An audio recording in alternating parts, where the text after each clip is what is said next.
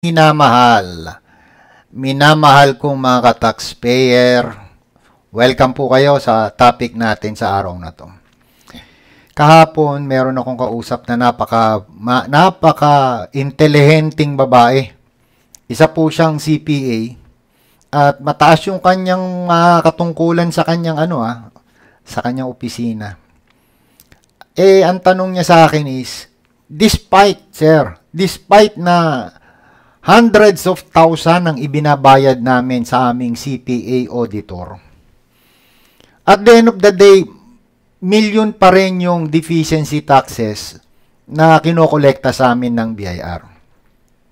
Of course, kapag million, pag 100, 100 thousands na, thousand na yung binabayad mo sa auditor mo, ay hindi peking auditor yan.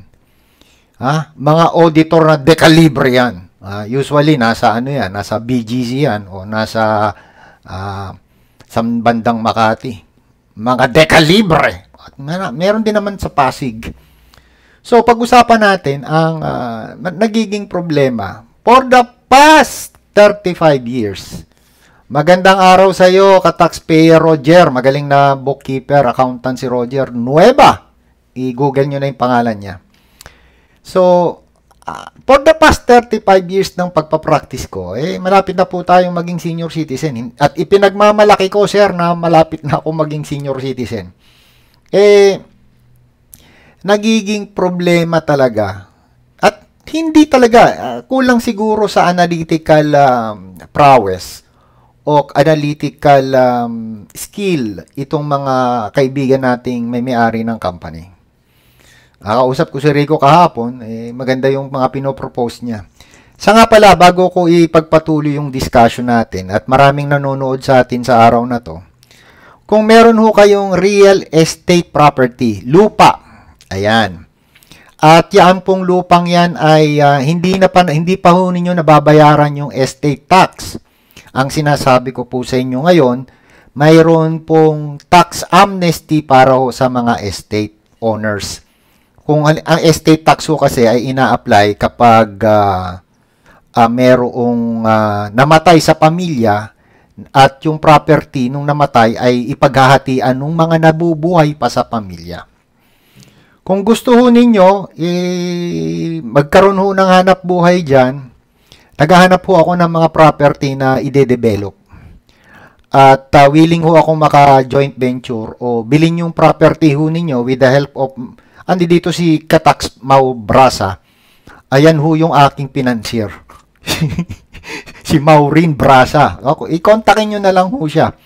So, naghanap ako ng mga real properties na may problema ho sa taxes. At uh, willing ho akong i-convert ho yan sa profitable venture. ISAP, malapit na ho maubos yung panahon natin para mag-avail ng estate tax. So babalik ko ako do sa problema ng na ginagawa, ah, ginagawa ng mga uh, financial statement.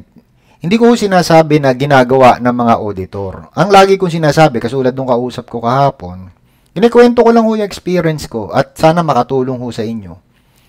Eh, yung kausap ko kahapon, despite na napakalaking auditing firm, yung nag-audit sa kanya, may deficiency taxes pa rin.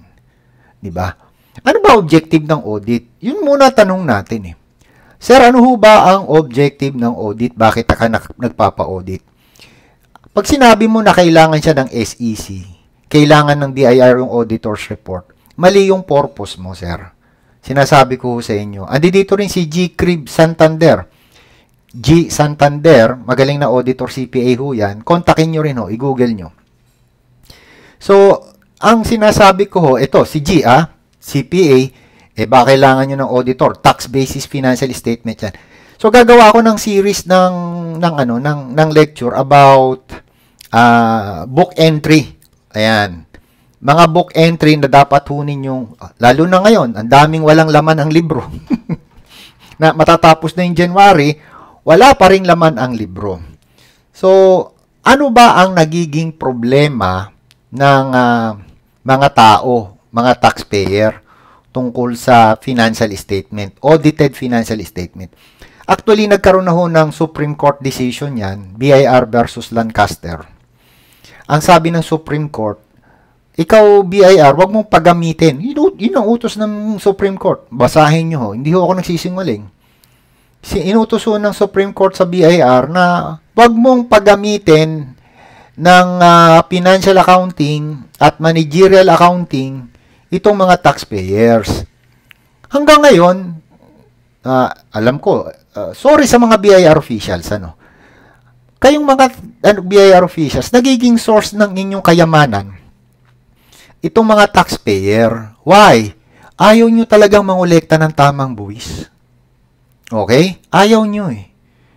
So, kung halimbawa merong uupong commissioner sa darating na eleksyon, may bagong commissioner na naman tayo, ang unang-unang dapat linisin dyan, sir, yung structure, form, and substance ng financial statement.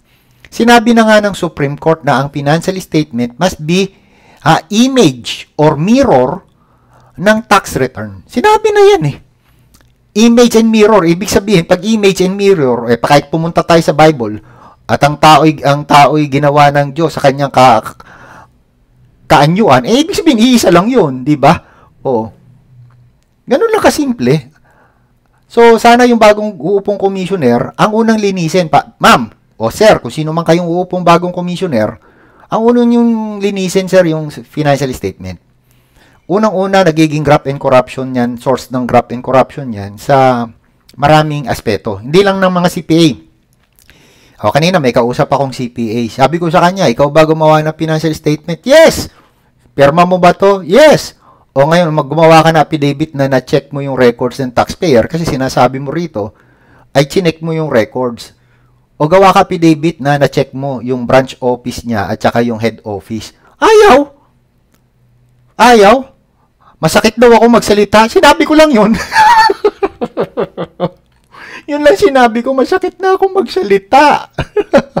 Pasensya ka na ha. Diretso akong tao at wala akong itinatagong uh, malisyoso sa katawan ko. Okay? Kayong mga CPA, kung gusto nyong matuto ng taxation at tax accounting, willing akong i-share sa inyo ang knowledge ko. Okay? At nga pala, nandito si Elgin Santos. Okay? So, Eljen, uh, i-promote natin yung, itong mga vloggers kasi, ah, yan eh, kayong mga vloggers, alam ba ninyo, may, ma, susunod nga, ano, meron akong ipop, ip, ipopost dito, ah, katulad na to, fo, ipinost ko yan, kasi yan ang ginagawa kong um, lecture ngayon. Yung, yung isang vlogger, sabi niya, maraming salamat dahil sa pagbablog ko, motorsiklo eh. Nanonood ako ng mga vlog ng motorsiklo. So, saan-saan siya pumupunta. Yung motorsiklo niya, pinap pinakararampa niya. Ang, ang galing, magaling siya eh. So, nahingaan niyo akong panoorin siya. Tapos, sinabi niya, dun sa pagbablog niya, inutang niya lang daw yung, munisi yung kanyang motorsiklo.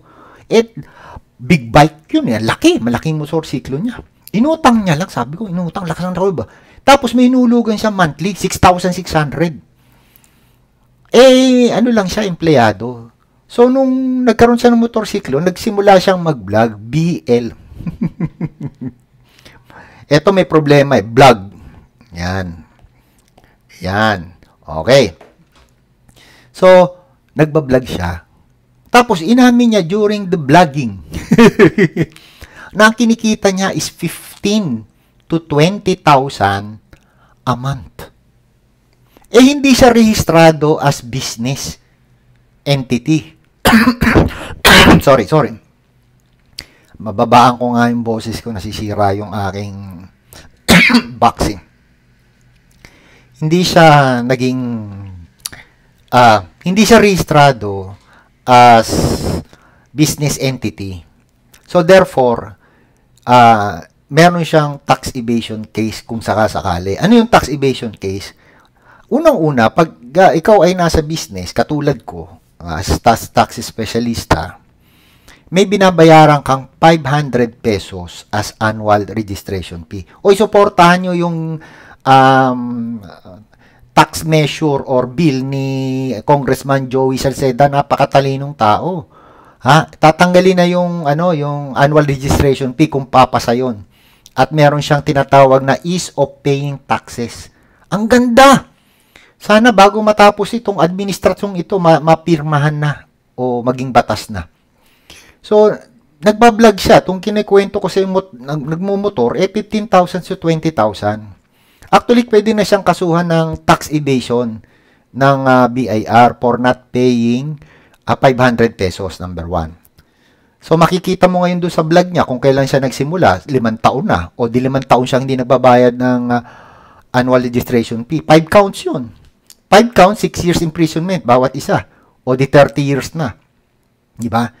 And of course, um, ah, hindi siya nagbabayad ng percentage tax o value added tax. Alam nyo ba? Ito, sikreto ng isasabihin ko sa inyo.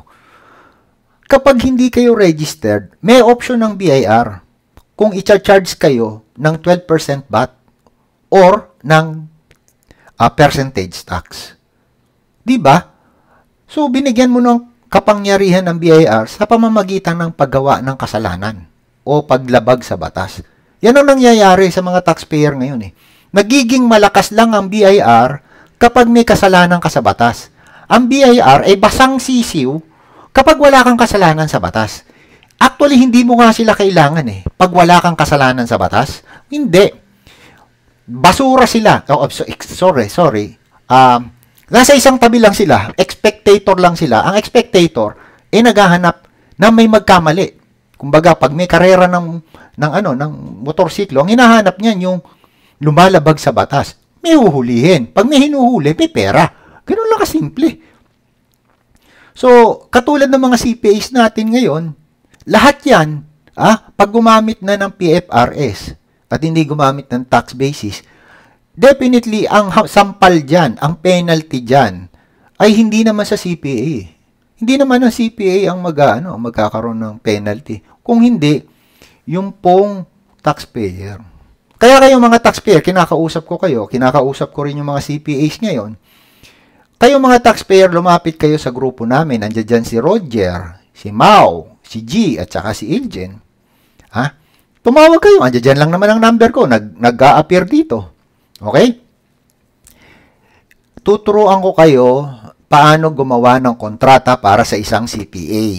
Para hindi kayo parang ninanakawan. Kasi nagtatrabaho yung CPA, yung trabaho ng CPA, eh hindi naman nyo kailangan. Parang, parang, parang, um, vaccine. Hindi mo naman kailangan yung vaccine, babaksinan ka. 'Di ba? Anong kailangan mo? Yung gamot just in case magkaroon ka ng sakit. Okay? Hindi yung wala ka pang sakit, bibigyan ka ng sakit. Hindi maganda yun, di ba? So, ini-invite ko kayo, gagawin natin tong series, pagbubunyag ng mga kalukuhan sa taxation at uh, iisa-isahin ko kayo. Kung meron kayong tanong, please, please, i, i ano nyo lang, i tawag nyo, i-PM ninyo ko. Andiyan naman yung aking YouTube at saka yung Facebook ko. O kaya, i-comment ninyo sa video ito. At pag may panahon ako, babasahin ko yan. Isa-shout out ko rin kayo. Baka magkaroon ho kayo ng hanap buhay sa taxation. At marami ho talagang hanap buhay sa taxation. So, puputulin ko na tong ano na to, uh, video ito. At ini-invite ko ho kayo. Baka gusto ho ninyong sumali. Ha, kasama ko si si Kidlat. Sabi ni Kidlat, "Sir, sama ako sa iyo. Saan saan tayo pupunta?" Ah, uh, mag-ano daw kami, mag magte-trail. Magte-trail daw. Sige, ako mag-trail tayo kahit hindi ako marunong. so tuturuan ko kayo ng ta tamang tax bookkeeping sa susunod natin. Gagawin ko na tong araw-araw. Okay? Kahit na gabi, kahit alas 9 na ng gabi, magle-lecture ako kahit na mga 10 to 20 minutes. So with that, gusto ko lang i-shoutout again si Roger, si Mau, si G, at si Iljen.